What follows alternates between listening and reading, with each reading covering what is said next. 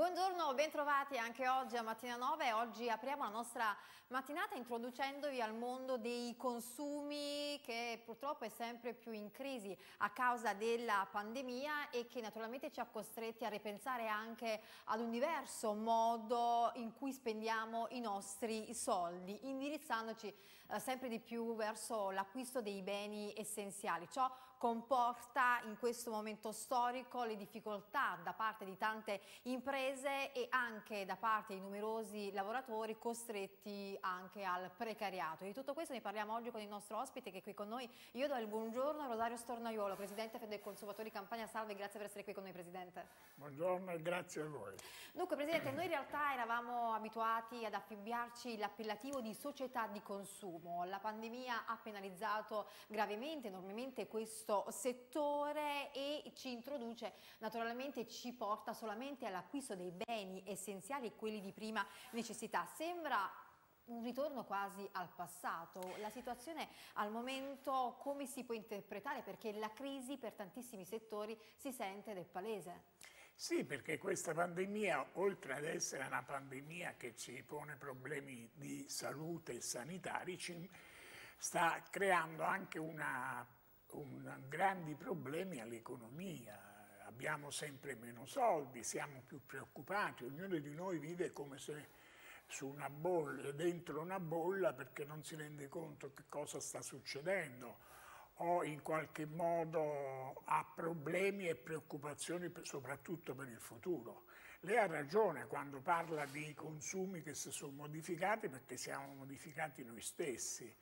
Eh, se si pensa che il settore del turismo torna 30 anni indietro, 1975 rispetto alle spese. Eh, la benzina addirittura diminuisce perché non si può girare tutti i giorni, quindi siamo intorno al 3-4% in meno. Eh, I trasporti lo stesso, c'è un modo di vivere completamente diverso e c'è. Questa pandemia sta cambiando ora, ma credo che cambierà anche nel futuro il nostro modo stesso di vivere. Eh, se si pensa che alcuni economisti stanno dicendo affermano che eh, solo nel 2023 noi raggiungeremo nuovamente i livelli del 2018. In realtà stiamo vivendo una vera e propria metamorfosi e eh, non ce ne stiamo probabilmente accorgendo. Quello però di cui possiamo esserne certi, Presidente, è che al momento ci sono molte crisi che sono in fallimento. Quindi io le chiedo proprio un bilancio, quante aziende sono o meglio saranno eh, proiettate al fallimento? Eh, attualmente noi abbiamo che ci sono state 73.000 aziende nel paese che, hanno, eh, che hanno chiuso e 17.000 aziende rischiano di non aprire. Del resto, girando per Napoli, noi ci accorgiamo delle tante serrande che sono chiuse, quindi c'è una forte preoccupazione perché le vendite sono calate enormemente, parliamo di oltre il 50% per, che riguarda l'abbigliamento, nessuno ha voglia, di, eh, visto che si esce poco, di eh, comprare vestiti di un certo tipo.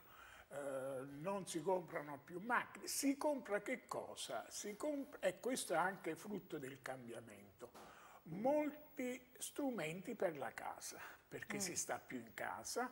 Stiamo scoprendo che stare in casa eh, va bene, gli affetti, gli anziani, eh, cose che credo cambieranno. E la voglia di riorganizzare quindi i nostri spazi certo, abitativi, c'è cioè questo desiderio? qualcuno eh, sostiene che in qualche modo stiamo costruendo una società più astiosa, più arrogante, più chiusa in se stesso. Io mi preoccupo molto, ma credo un po' tutti, dei ragazzi che non stanno, non stanno andando a scuola, mi preoccupo moltissimo dei tanti ragazzini napoletani che vivono nei vicoli e nei quartieri eh, difficili che non hanno gli strumenti per poter seguire la DAD. Quindi stiamo costruendo anche una società e dei ragazzi che saranno diversi da quelli, diversi che, da quelli che conoscevamo ecco, prima della pandemia. Tra l'altro, Presidente, dovremmo avere in collegamento un esercente di modo da comprendere qual è la vera situazione. Abbiamo con noi infatti Cristiano Gilberti, commerciante napoletano. Buongiorno Gilberti, grazie per essere qui con noi. buongiorno, buongiorno a tutti. Salve, senta, io volevo chiedere innanzitutto Salve. lei di cosa si occupa, qual è la situazione dal suo punto di vista, il crollo dei eh, consumi è veramente così palese? Palese? Sì, vabbè, noi ci occupiamo 42 anni di calcoli, siamo in Gaia ormai sempre. E il crollo dell'ITE ormai è, è pauroso. Io vi dico solo un dato, eh, abbiamo fatto un farato meno 60%, è una cosa perché noi come tutti poi commercianti il mese di dicembre, il mese di eh, sistemare un pochettino i nostri bilanci, ma è forse il mese un pochettino più, uh, più per tutti noi. Siamo Giliberti, purtroppo io non riesco, il collegamento non ci aiuta a comprendere bene le sue parole, però è comprensibile lo stato d'animo, intanto quello che si percepisce che c'è tanta difficoltà, io volevo chiederle Presidente quanto lo Stato può aver beneficiato, può aver aiutato secondo lei gli esercenti, il suo punto di vista? Io credo che eh, bisogna fare molto per saldare il piccolo commercio in una città come Napoli. Eh, se a Napoli muore il piccolo commercio, muore gran parte della vita della città. I consumi sono anche un segnale di libertà, cioè tu scendi, vai in giro, sei più libero. In una situazione del genere noi stiamo eh, can cannibalizzando il piccolo commercio attraverso l'unica cosa che è aumentata che sono le vendite online. Le vendite online significano due cose. Uno, distruggere il piccolo commercio. Due, dare risorse ad aziende che non vivono nel Alle multinazionali che per l'appunto Alle multinazionali e alle aziende del, del nord. Quindi è anche un problema meridionale perché questa pandemia sta ancora di più evidenziando una divisione enorme nel paese tra un nord che bene o male eh, riesce a superare, ad incrementare, anche se con minimo, eh, i consumi ed un sud dove il, i consumi crollano enormemente. Abbiamo il collegamento Giliberti, il collegamento telefonico. Uh, ben ritrovato Giliberti, le volevo chiedere in realtà se secondo lei le misure del governo e della regione in questo periodo storico sono state sufficienti. Sì, a, a parole, eh, a parole purtroppo hanno fatto bellissimi proclami, ma non tutti hanno avuto i ristori sperati il problema è proprio questo, cioè noi dobbiamo eh, pure andare avanti, siccome ci fanno stare chiusi dovremmo avere dei ristori per pagare fitti, dipendenti, tasse e quant'altro. Senta, eh, noi siamo molto, adesso, molto è molto difficile, noi adesso siamo in zona gialla in questa settimana attendendo quale sarà sì. poi l'esito del weekend, eh, sono iniziati i saldi anche in campagna, è stato un inizio non tanto incoraggiante appunto in sordina. No, purtroppo flop. Può essere però, ecco, in questi prossimi giorni, magari fino a venerdì, eh, essere un supporto quantomeno eh, per limitare i danni avuti nella fase prenatalizia? Noi ci speriamo tantissimo, anzi chiediamo ai cittadini del centro di Napoli di venire a passeggiare nelle nostre strade, spendere, aiutarci e spendere meno online. Io non voglio adesso andare contro l'online, ma almeno eh, spendere un pochettino nei negozi di vicinato. Senta, con Questo è quello che chiediamo. Con il Presidente Sonaiolo in realtà si parlava della possibilità di un uh, approccio diverso al concetto dell'acquisto, ma soprattutto un concetto diverso al nostro modo di spendere i soldi. Per quanto riguarda i saldi, qual è il suo punto di vista? Uh, ci vorrebbe un po' più libero arbitrio anche da parte degli esercenti? Sì, questo sicuramente, però eh, la realtà è che ci sono veramente pochi soldi da spendere. Pochi... E poi si spendono comunque su, sull'online. È stato facilitato, lo Stato ha facilitato molto l'online, soprattutto con le chiusure di noi negozi. Grazie, grazie Giliberti. Che cosa succederà a questo punto, Presidente, viene da chiederlo? Quale sarà il prossimo scenario? Io credo che questa pandemia, speriamo che finisca presto, speriamo che i vaccini funzionino e funzionino al più presto, ma credo che cambierà anche nel futuro il nostro modo di essere, di approcciarci verso, verso i consumi. I commercianti vanno aiutati, ma devono anche aiutarsi loro stessi, non possono pensare che dopo la pandemia si, ritorni, si ritorna alla, a come eravamo prima.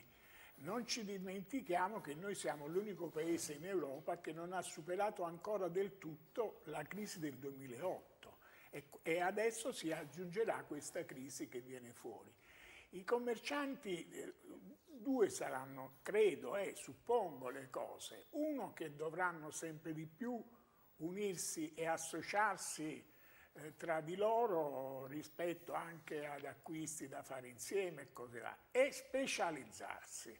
Noi abbiamo una struttura commerciale in Italia e a Napoli in particolare la tenevamo molto frastagliata e questo era anche un motivo di diseconomia. Credo che si andrà sempre di più eh, alla riscoperta dei negozi di vicinato. Uno dei dati che esce fuori da questa pandemia è che si è ritornati ad acquistare poco ma nei negozi di vicinato, tanto è vero che gli ipermercati stanno in grandi in grandi difficoltà. Quindi è questo il futuro.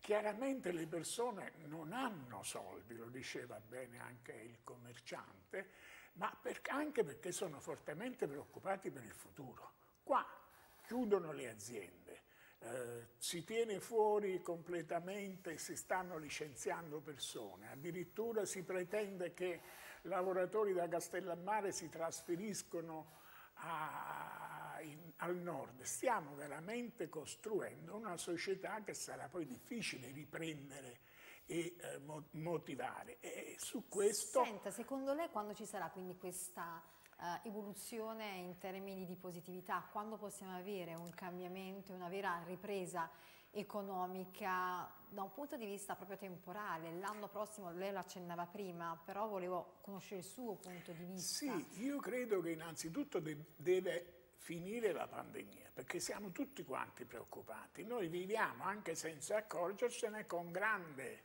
con grande preoccupazione di essere infettati. Per fortuna, arrivando questi vaccini, stiamo scoprendo che la gente vuole vaccinarsi sette italiani su dieci hanno già affermato che si vaccineranno, due sono incerti, solo uno su dieci. Quindi aspetteremo il 2023 perché dovrà ancora trascorrere. Economicamente credo che nel 2023 si può pensare, se la pandemia finisce e termina, ad una ripresa graduale. Si parla del 2023 dopo nel 2023 si può pensare di ritornare al 2019, quindi non è... però i consumi cambieranno, oramai le persone hanno eh, più voglia di fare in casa alcune cose, però di andarle senta, a comprare. Siamo qui con una conclusione intervista, secondo lei come si potrà salvare il mondo del lavoro? Perché già c'era eh, il precariato nella fase pre-Covid che in questo momento si acuisce maggiormente, quindi come salvare il mondo del lavoro?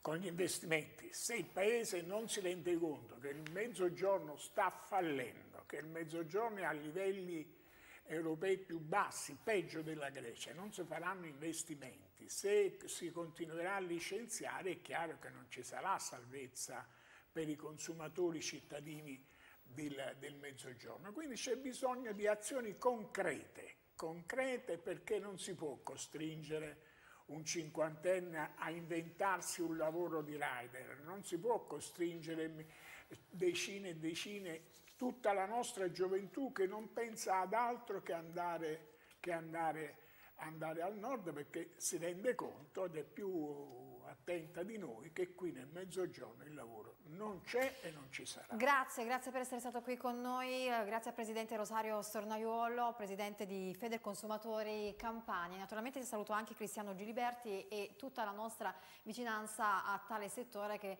sta vivendo momenti di, serie, di, di seria difficoltà. Grazie, noi ci troviamo subito dopo la pubblicità, restate con Mattina 9.